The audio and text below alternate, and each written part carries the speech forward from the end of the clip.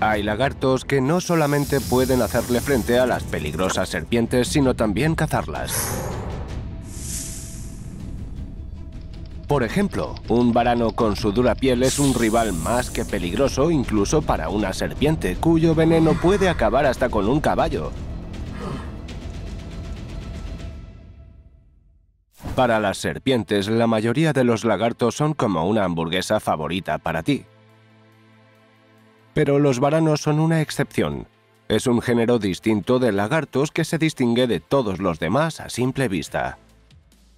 Los varanos pueden variar mucho en tamaño, pero comparten algunas características comunes. En primer lugar, tienen patas muy fuertes y colas musculosas que sumadas a su largo cuello son capaces de girar bruscamente en el combate cuerpo a cuerpo y morder incluso a un oponente que esté muy cerca. Los varanos también poseen una peculiar piel, que se diferencia de las escamas ordinarias en que tiene un revestimiento duro, uniforme y áspero. Para su tamaño, la piel es extremadamente dura, por lo que es difícil morderla. Infligir el suficiente daño como para incapacitar a un varano es aún más difícil, todo esto hace que este lagarto sea un excelente oponente para las serpientes venenosas y las boas constrictoras que están acostumbradas a las técnicas de asfixia. La primera arma de una serpiente está en su boca. Si un reptil sin patas es venenoso, inyecta una toxina en el cuerpo de su víctima a través de su mordedura, lo cual la envenena. El veneno puede afectar la sangre, destruir los vasos sanguíneos y el corazón, paralizar los músculos y el sistema nervioso, hay muchas opciones, pero para que el veneno detenga el corazón de la presa, tiene que entrar en el sistema circulatorio a través de la herida. Por eso los colmillos de las serpientes son tan afilados. Algunas tienen largos colmillos que se curvan dentro de la boca. Estos colmillos perforan instantáneamente la piel de la víctima y el veneno entra rápidamente en su sistema circulatorio. Otras serpientes tienen colmillos venenosos más cortos, y el reptil no suelta a su víctima inmediatamente después de la mordedura, sino que la muerde durante algún tiempo para inyectarle más veneno. Si crees que las boas constrictoras no usan las mandíbulas para atacar, te equivocas. Su ataque siempre comienza con una mordida. En primer lugar, intentan aturdir a la víctima para enredarla antes de que tenga tiempo de recuperarse y reaccionar al ataque. Además, la pitón agarra y sujeta a la víctima con sus mandíbulas mientras la envuelve con su cuerpo.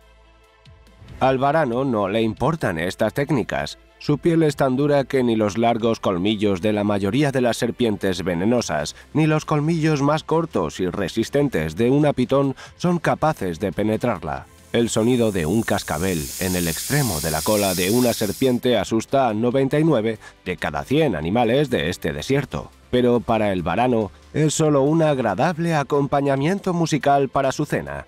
Su piel es casi insensible. Las serpientes no tienen extremidades, pero por lo general su forma de ser les permite cazar y sobrevivir con éxito, pero no cuando hay un varano cerca. Sin patas con las que luchar contra un oponente tan masivo, el combate pasa a ser una paliza. No te olvides de darle un me gusta a este luchador. Es mejor no hacer enfadar a un varano. Las tácticas propias del varano son bastante simples y directas. Va por un ataque frontal y recibe el primer mordisco en su poderoso cuero. Por supuesto, el lagarto intentará adelantarse y agarrar a la serpiente con sus mandíbulas antes de que tenga tiempo para hacer su lanzamiento, pero incluso si falla, no pasa nada. Ni siquiera una serpiente de cascabel puede penetrar su increíble defensa. La serpiente muerde a su oponente con la velocidad del rayo, pero sus colmillos no pueden inyectar veneno en su cuerpo. La serpiente y el varano se agitan como un torbellino viviente, luchando con increíble furia, pero al final se separan. La serpiente es demasiado grande para el varano, pero el lagarto también tiene una piel lo suficientemente dura como para que ni siquiera las rápidas mordeduras de la serpiente, que son similares a las balas, tengan efecto. A menudo el varano agarra la cabeza de la serpiente, tras lo cual las posibilidades de supervivencia de ésta caen en picado. más rápido que un vagón en la más alta montaña rusa del mundo. Si falla, el varano puede volver a intentarlo y solo se retirará si recibe un impresionante contraataque. Los varanos son depredadores armados con dientes más bien pequeños, pero afilados y con forma de cono. Sus mandíbulas son un poderoso tornillo de banco. Una vez capturada su presa, la cabeza oscilante del varano se sacude brutalmente de un lado a otro. Esto aturde a la presa y le provoca lesiones internas devastadoras. Las serpientes casi siempre tienen escamas lisas y los dientes del varano las atraviesan con la misma facilidad que un cuchillo atraviesa la mantequilla. La serpiente queda entonces reducida a un cordón indefenso que no puede hacer nada contra la inmensa fuerza del varano. El lagarto rompe la columna vertebral de la serpiente, le aplasta las costillas y los afilados fragmentos de hueso dañan sus órganos internos mientras los dientes terminan el trabajo. Dicho esto, los varanos gigantes como este depredador que vive en Australia incluso sacan a las serpientes venenosas de sus agujeros, un cazador increíblemente brutal que se ha convertido en uno de los superdepredadores en la cima de la cadena alimentaria de su hábitat. Un gran varano es capaz de dominar a una pitón, una serpiente que se basa en la fuerza física más que en el veneno. Se defiende desesperadamente, pero el varano se sacude la cabeza de un lado a otro y golpea a la serpiente como Hulk en una de las escenas de los primeros Vengadores. La pitón está en estado de conmoción, no puede liberarse. El varano arrastra a la serpiente hasta convertirla en un largo espagueti inmóvil. Aún así, algunas serpientes pueden luchar incluso contra un gran varano. La única condición es el tamaño. Si la serpiente es al menos una vez y media o dos veces más grande que el varano, el reptil sin patas podrá no recibir una humillante paliza habrá una batalla de titanes en la que ambos animales tienen casi las mismas posibilidades de éxito. Luchan con una furia que no se espera de un animal de sangre fría, ya que ambos contrincantes se dan cuenta de que solo quedará uno. En ese caso, el varano debe pensar en la supervivencia. Aquí el varano pretende escapar. La serpiente lo muerde y le clava los colmillos, pero el lagarto arrastra a la cobra tras de sí. Su piel es demasiado dura y poderosa, pero tampoco puede dominar a la cobra. En otros casos, no obstante, las serpientes consiguen aprovechar su ventaja a lo máximo. Debido a que estos varanos no son tan grandes, es posible penetrar su piel, y el veneno detiene rápidamente la respiración de los reptiles. Por ello, si la serpiente es grande, el varano suele ser presa del depredador venenoso. Para que la lucha sea eficaz, el varano utiliza lo que el enemigo no tiene, extremidades. Las patas del varano están dotadas de afiladas y largas garras. Incluso si no puede alcanzar a la serpiente, puede utilizar sus garras para apoyar su cuerpo y curvarse para agarrar al enemigo con sus propias mandíbulas desde una posición ventajosa. Este reptil no puede describirse como extremadamente ágil, sus patas están a los lados de su cuerpo, por lo que no es un gran corredor en largas distancias. Sin embargo, sus musculosas patas son capaces de dar potentes empujones cortos y fuertes patadas. La cola del varano tampoco es solo un equilibrador, es bastante larga y musculosa, por lo que también participa en una pelea con una serpiente. Un duelo así puede durar media hora o incluso más, si la serpiente venenosa consigue penetrar la armadura del varano, solo tiene que vivir lo suficiente para que el veneno acabe con su oponente. Pero no es tan fácil. Puede ocurrir que el varano consiga romper el cuello de la serpiente antes de que el veneno se haya apoderado completamente de él, pero si la serpiente resiste la embestida del lagarto, podrá sobrevivir. Se trata de una pitón. Tiene una oportunidad de ganar si logra desequilibrar al varano. En ese caso, ni siquiera una o dos extremidades libres salvarán al lagarto. Pero el centro de gravedad del varano es bajo y puede equilibrarse perfectamente incluso sobre su cola. Así que solo una pitón que sea tres veces más grande que el lagarto tiene las posibilidades de derribarlo. En este caso, la pitón apretará gradualmente sus anillos hasta que la columna vertebral, las costillas y los órganos internos del varano reciban un daño crítico. Dado el tamaño y la fuerza del varano, la única serpiente venenosa que tiene una ventaja definitiva sobre estos lagartos es la cobra real. Todas las demás serpientes corren un gran riesgo cuando atacan a un varano pero la cobra real tiene muchas posibilidades de éxito. Curiosamente no suele cazar lagartos sino otras serpientes, pero es poco probable que cuando una cobra y un varano se crucen en un camino estrecho, la serpiente intente evitar el conflicto con su rival.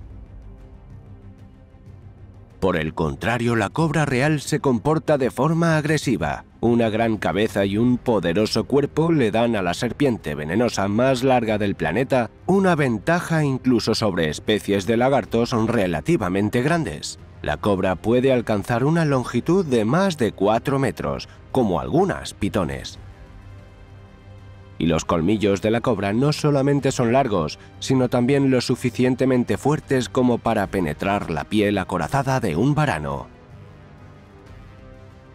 El veneno de la cobra real, aunque no es el más fuerte del mundo, puede detener el corazón de un elefante. La neurotoxina tarda alrededor de un minuto y medio en ocuparse de un varano. La cobra real tiene una ventaja sobre el varano, lo que se puede deducir por el hecho de que la serpiente no extiende su capucha. Las cobras solamente hacen esto cuando se sienten amenazadas, pero en una batalla con un varano, una cobra real adulta se siente tan segura como Godzilla en la ciudad. Es posible que se golpee con algo, pero en general no pasa nada. Un varano es apenas un juego para una cobra real. En realidad, producir veneno es todo un reto en cuanto a los recursos del organismo. El veneno de serpiente es antigua saliva que ha sido transformada químicamente.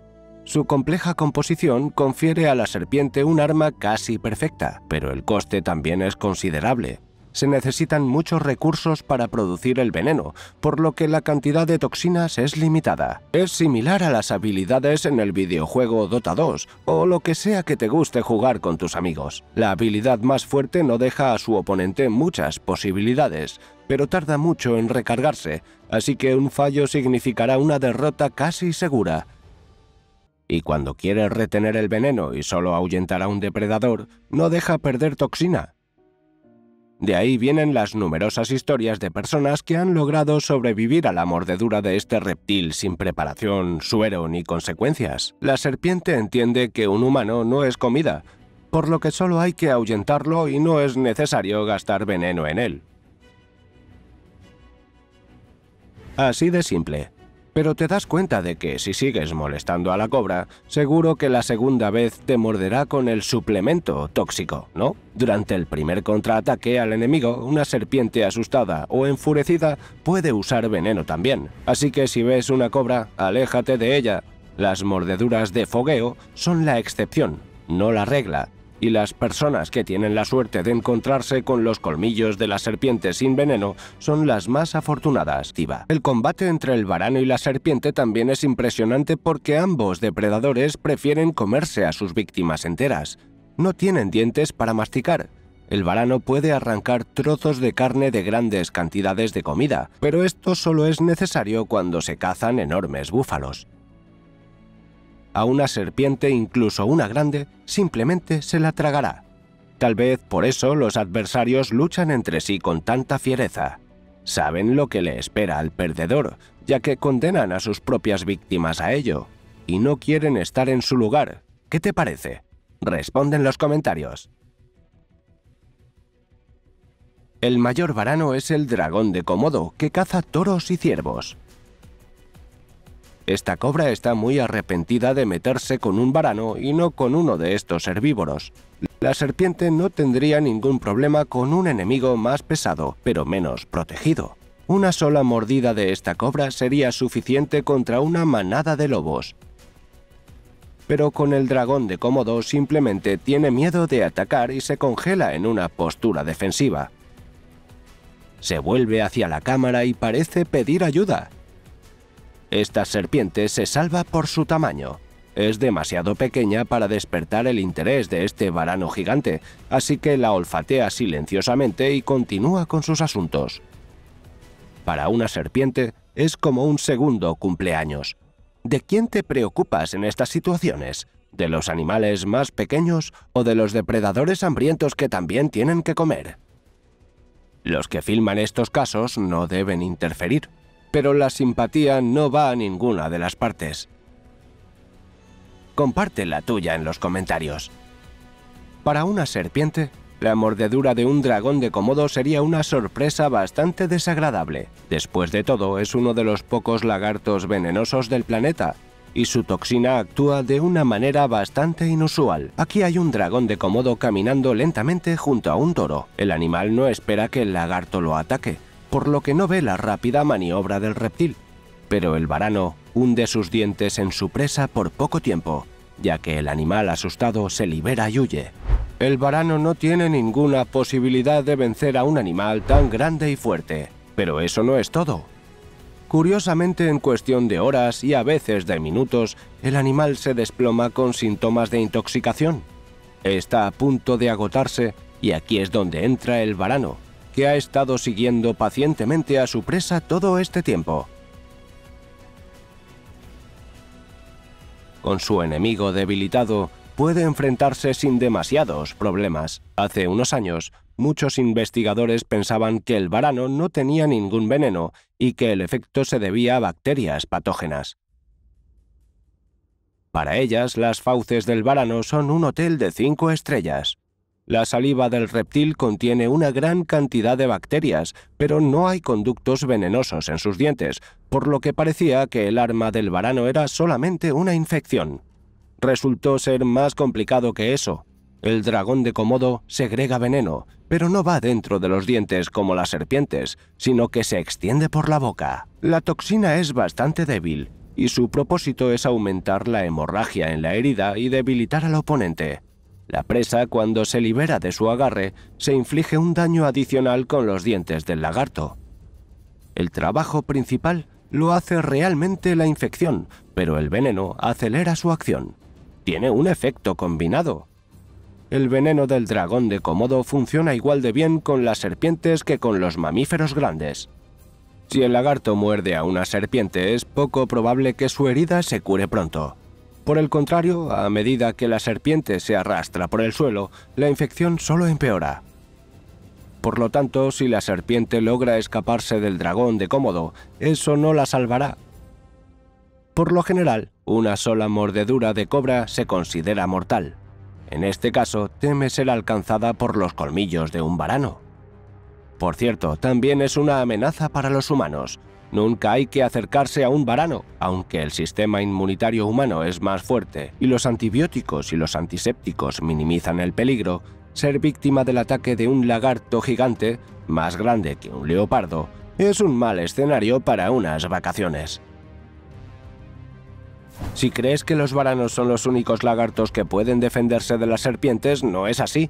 Incluso el pequeño camaleón puede ser un luchador formidable.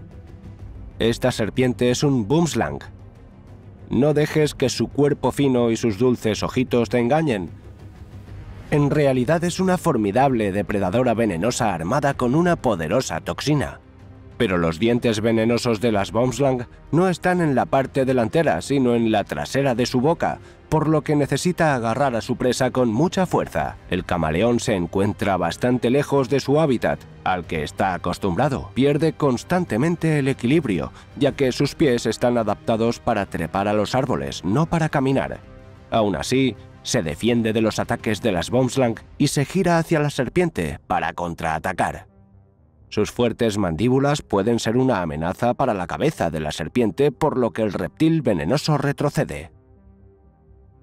O este valiente pequeñín se da cuenta de que la diferencia de tamaño es demasiado grande.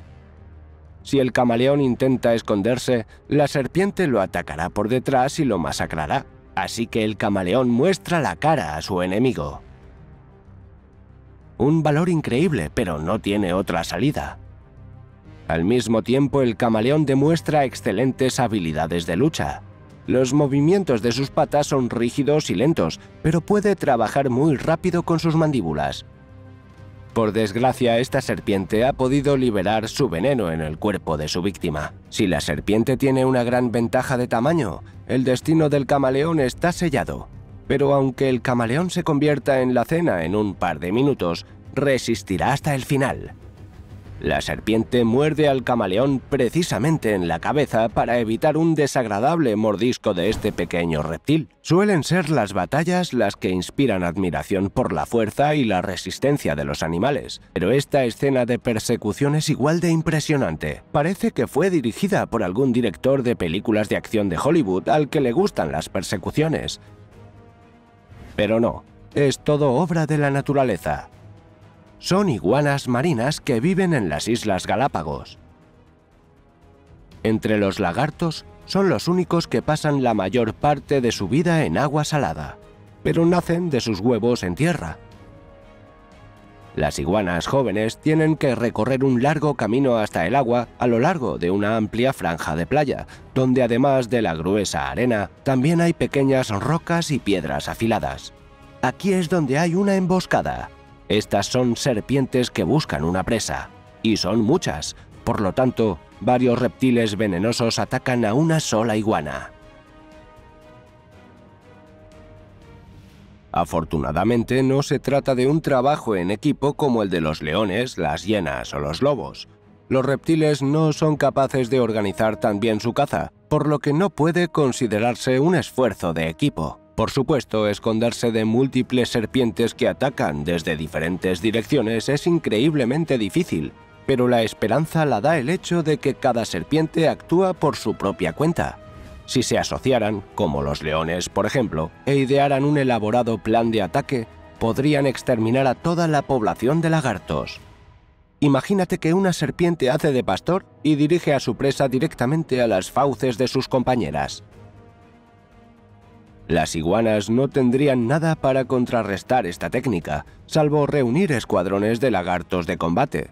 Sin embargo, en la realidad, las serpientes cazan y se salvan por su cuenta. Simplemente hay tantas que se crea la ilusión de un trabajo en equipo. Una vez descubierta, la iguana tiene apenas unos segundos para escapar. Necesita llegar al agua, ya que estas serpientes no pueden bucear y son mucho peores nadadoras,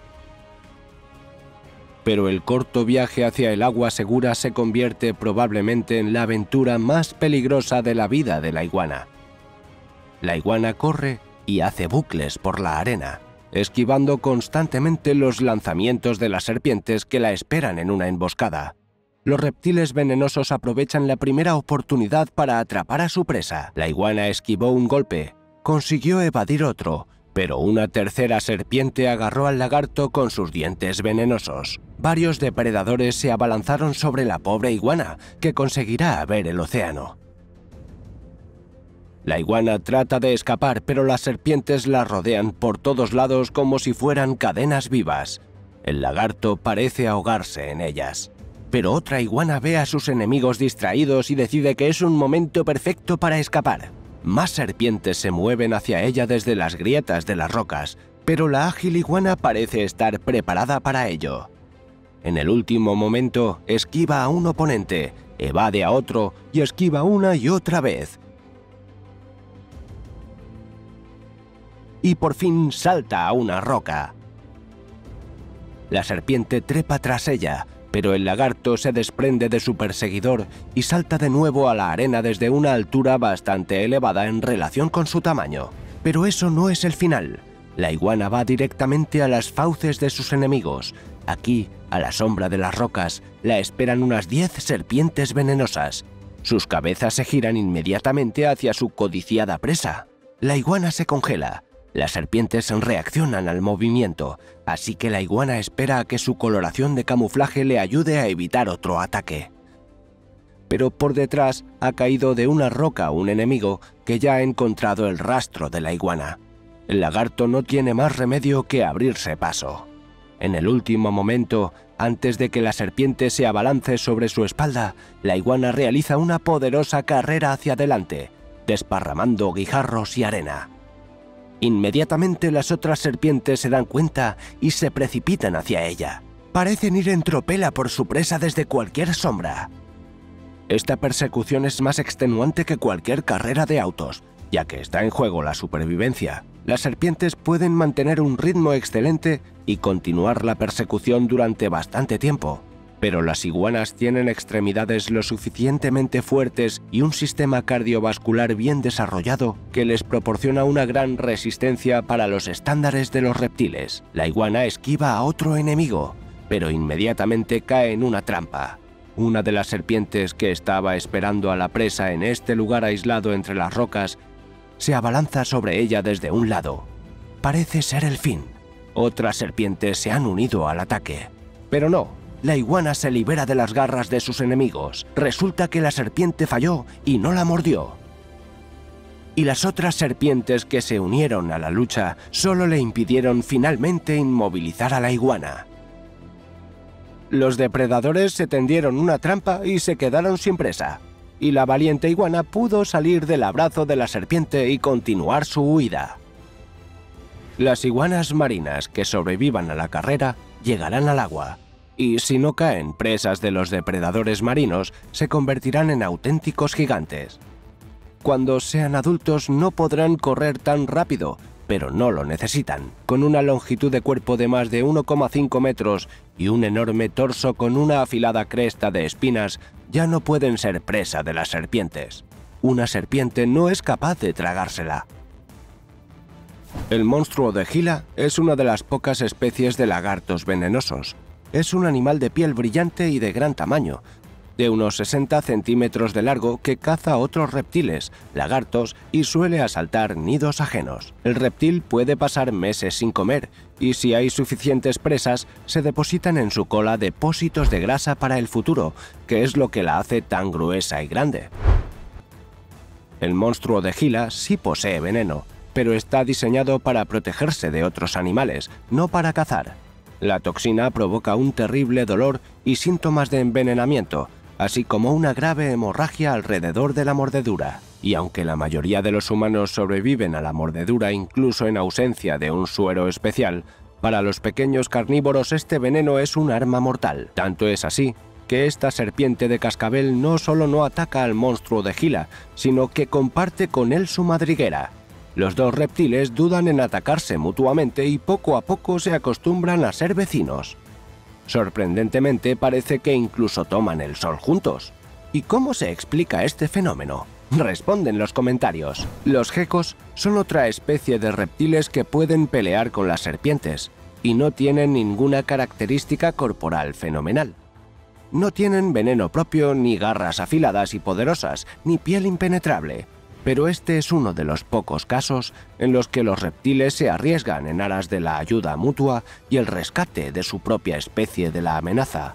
Los gecos se defienden mutuamente, como dos héroes que se enfrentan a un enemigo muy desagradable. Es difícil saber por qué los gecos tienen tanta predilección por la ayuda mutua. Estos reptiles no son los más evolucionados de todos los animales de sangre fría, y su rasgo más conocido es su capacidad para caminar por las paredes, los techos e incluso las superficies más lisas como el cristal.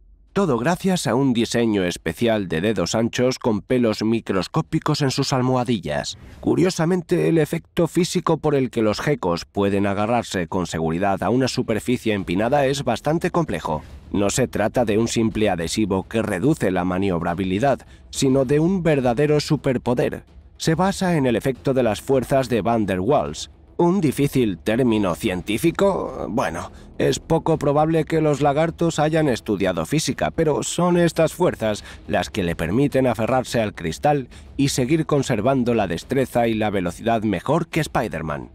Los gecos son también una de las pocas que poseen cuerdas vocales reales. Sin embargo, no pueden cantar, pero pueden producir sonidos reales para comunicarse en lugar de silbar.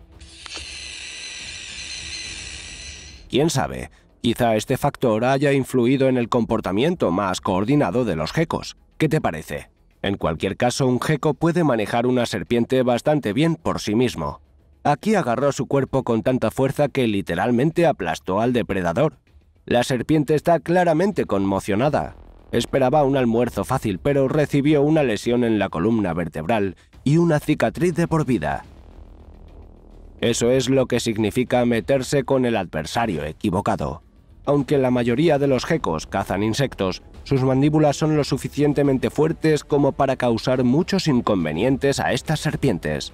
La serpiente envolvió el cuello del geco para obligarlo a soltar sus mandíbulas, pero este movimiento claramente no impresionó al geco.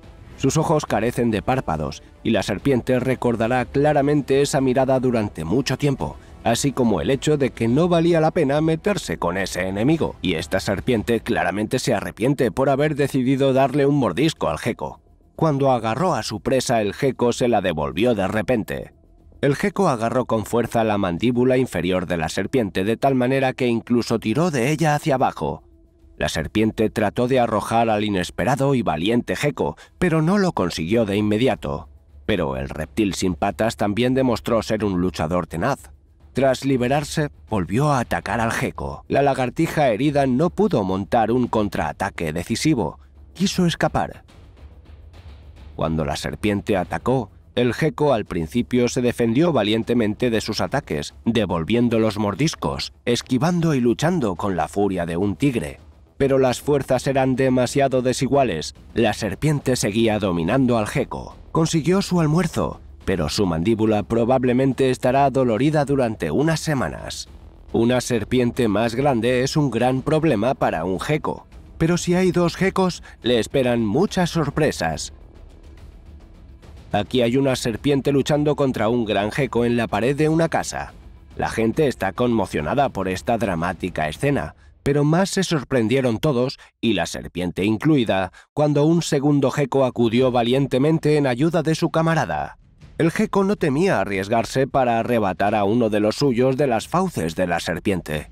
El geco agarró valientemente al reptil sin patas y apartó su cuerpo para evitar que siguiera estrangulando a su amigo. Y cuando eso no funcionó, el geco se abalanzó sobre la serpiente y la golpeó de un salto.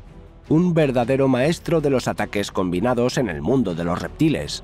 Y después de eso, el geco volvió a la pared y siguió atacando a la serpiente, que ya no podía concentrarse en su presa. ¿Qué lagarto le hizo la batalla más decente a la serpiente? Comparte tu opinión en los comentarios y no olvides suscribirte. Hay muchos animales en el mundo que sorprenden por sus inusuales comportamientos y las escenas de acción en las que a veces se meten.